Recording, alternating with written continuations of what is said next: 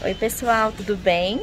A gente tá aqui na Leroy Merlin, no container da Reciclos, eu e o Juliano.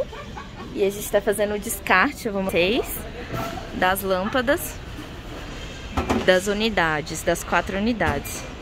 Então, ó, a gente descartou as lâmpadas fluorescentes pequenas aqui, as lâmpadas tubulares aqui.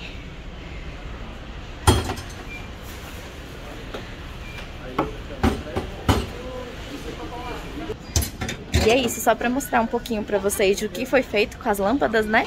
E o porquê vai estar tá no textinho que a gente vai mandar junto, tá bom? Beijo!